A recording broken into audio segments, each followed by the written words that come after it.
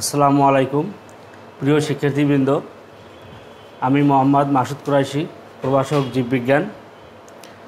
কিশোরগঞ্জ মহিলা কলেজ কর্তৃক আয়োজিত অনলাইন ক্লাসে সবাইকে স্বাগত জানাচ্ছি। আজকে আমি কোষ ও এর গঠন অধ্যায় থেকে একটি নতুন টপিক শুরু করব। যার নাম হলো কোষ ঝিল্লি।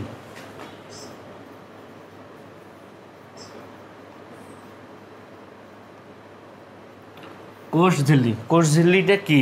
কোষ ঝিল্লি হচ্ছে কোষ প্রাচীরের ঠিক নিচে সমস্ত প্রোটোপ্লাজমকে ঘিরে যে সজীব বস্তু বিদ্যমান তা কোষ ঝিল্লি নামে পরিচিত।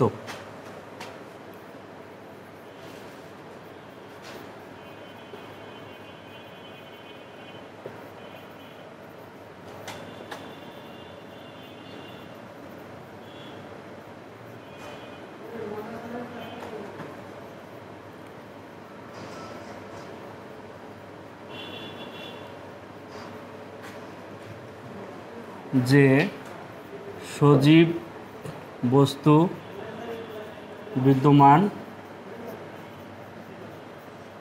তা কোষ ঝিল্লি নামে পরিচিত। কোষ ঝিল্লিকে প্লাজমা লেমা নামেও অভিহিত করা হয়।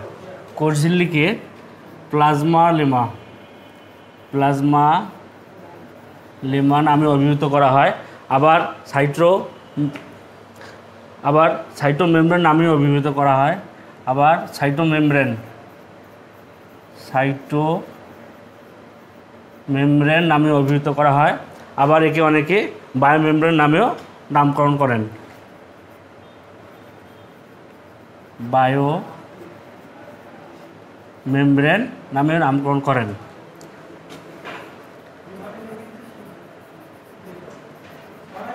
নামকরণ। বিজ্ঞানী কার্ল নাগেলি সর্বপ্রথম এর নামকরণ করেন। বিজ্ঞানী বিজ্ঞানী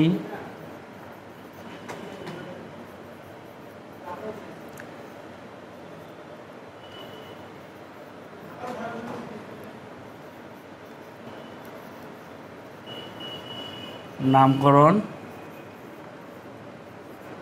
করেন। এখন আমরা আসব ভৌত গঠনে।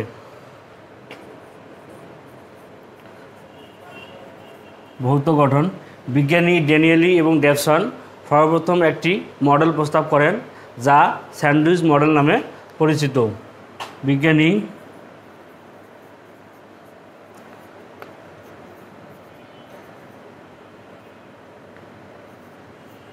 ড্যানিয়েলি ও ডেভসন ডেভসন একটি মডেল প্রস্তাব করেন যা স্যান্ডউইচ মডেল নামে পরিচিত।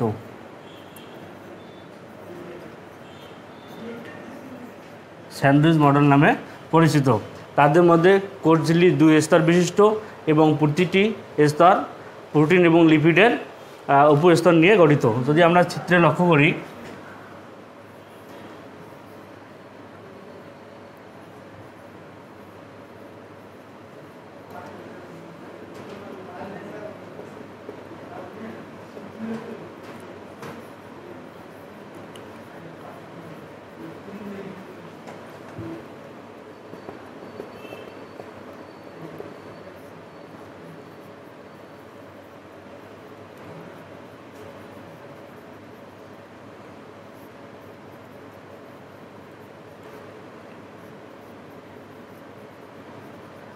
Protein lipid.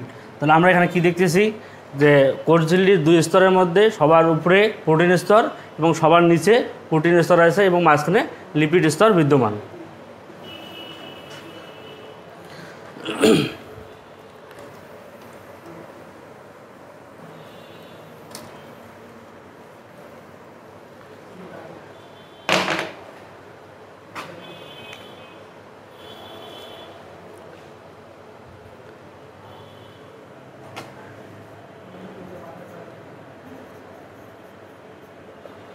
এছাড়া কোষঝিল্লির মডেল সম্পর্কে আরও কয়েকটি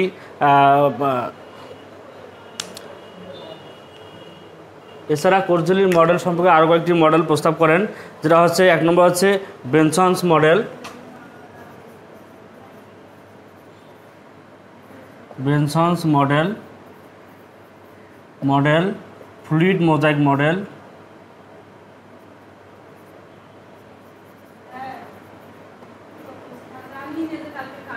fluid mosaic model এবং রবার্টসনের রবার্টসন এর unit unit membrane unit membrane hypothesis. Thesis উল্লেখযোগ্য। এরপর আসব আমরা রাসায়নিক গঠনে।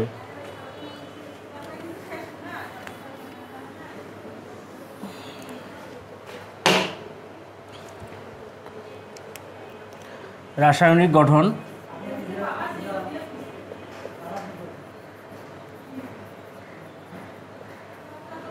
রাসায়নিক গঠন এক নম্বর হচ্ছে কোষঝিল্লিতে প্রোটিন এবং আর লিপিড থাকে, কোনো কোনো ক্ষেত্রে পলি পলিস্যাকারাইড থাকতে পারে। কোষ ঝিল্লিতে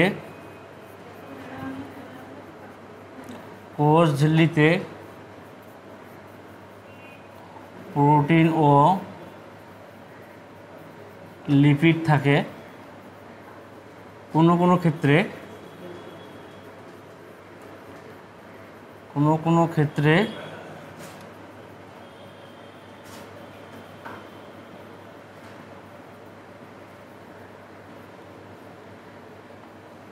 পলিস্যাকারাইড থাকতে পারে। নাম্বার দুই হচ্ছে, বিভিন্নভাবে প্রোটিন থাকতে পারে, যেমন বিভিন্নভাবে প্রোটিন থাকতে পারে, যেমন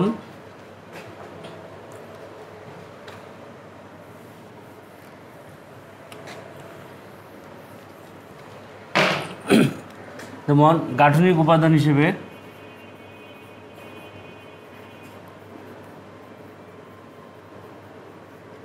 গাঠনিক উপাদান হিসেবে উপাদান হিসেবে থাকতে পারে অ্যানজাইম অ্যানজাইম হিসেবে এবং বাহক হিসেবে থাকতে পারে।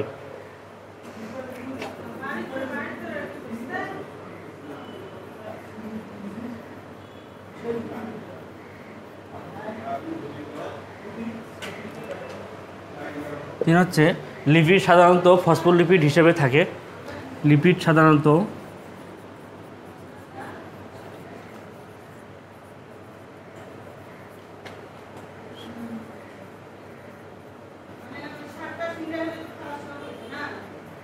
ফসফোলিপিড হিসেবে থাকে।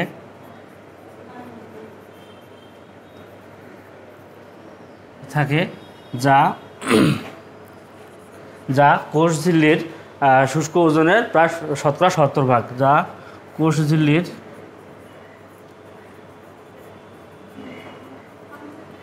শুষ্ক ওজনের ওজনের শতকরা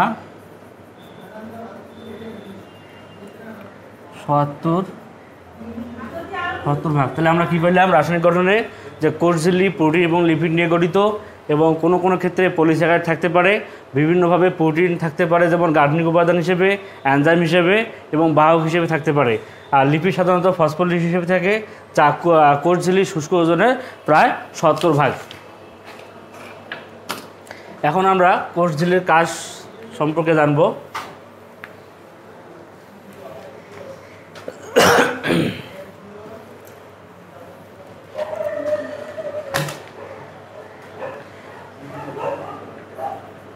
কাজ।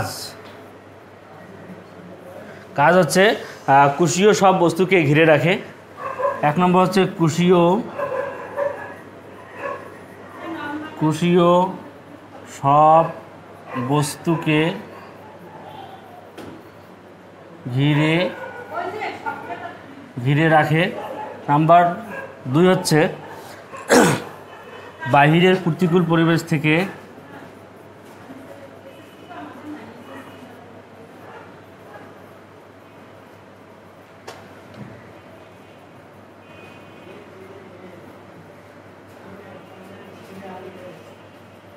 অভ্যন্তরীণ বস্তুগুলোকে রক্ষা করে।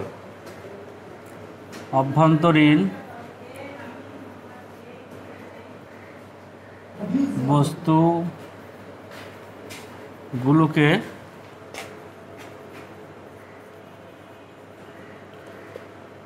রক্ষা করে। নাম্বার তিন হচ্ছে কোষের বাইরে থেকে ভিতরে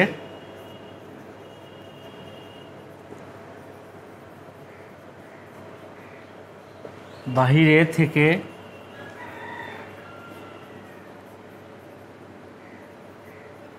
এবং ভিতর থেকে বাহিরে এবং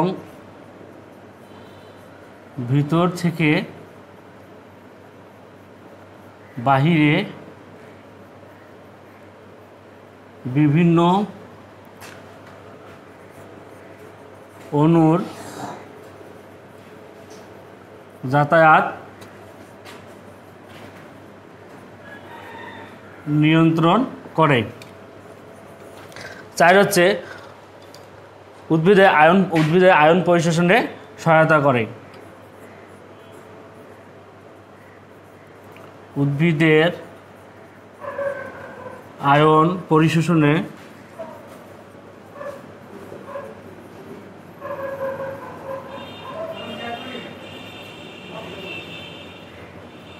সহায়তা করে। পাঁচ নম্বর হচ্ছে কোষঝিল্লি স্বয়ংক্রিয়ভাবে তার ক্ষত নিয়ন্ত্রণ করতে সক্ষম। কোষঝিল্লি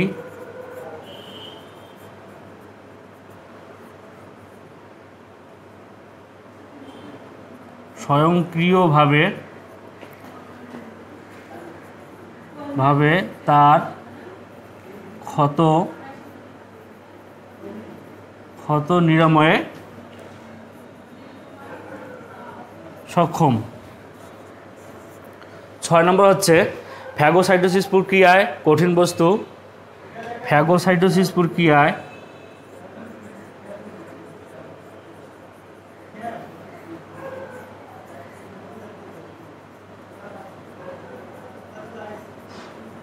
প্রক্রিয়ায় কঠিন বস্তু। বস্তু এবং পিনোসাইটোসিস প্রক্রিয়ায় তরল বস্তু এবং পিনোসাইটোসিস প্রক্রিয়ায়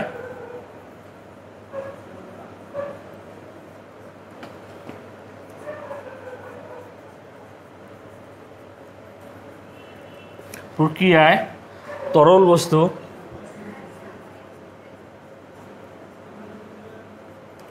তরল বস্তু গ্রহণ করে। গ্রহণ করে। তাহলে আমরা কি পেলাম বৈশিষ্ট্য? কাজের মধ্যে আছে আমাদের কোষীয় সব বস্তুকে ঘিরে রাখে বাইরে প্রতিকূল পরিবেশ থেকে অভ্যন্তরীণ বস্তুগুলোকে রক্ষা করে। কোষের বাইরে থেকে ভিতরে এবং ভিতর থেকে বাহিরে বিভিন্ন অণুর যাতায়াত নিয়ন্ত্রণ করে, উদ্ভিদের আয়ন পরিশোষণে সহায়তা করে। কোষঝিল্লি স্বয়ংক্রিয়ভাবে ক্ষত নিরাময়ে সক্ষম এবং ফ্যাগোসাইটোসিস প্রক্রিয়া কঠিন বস্তু এবং পিনোসাইটোসিস প্রক্রিয়ায় তরল বস্তু গ্রহণ করে। তো এই ছিল আজকে কোর্সঝিলি সম্পর্কে আমাদের আলোচনা। তো পরবর্তী অনলাইন ক্লাস দেখার আমন্ত্রণ জানিয়ে এখানেই শেষ করছি।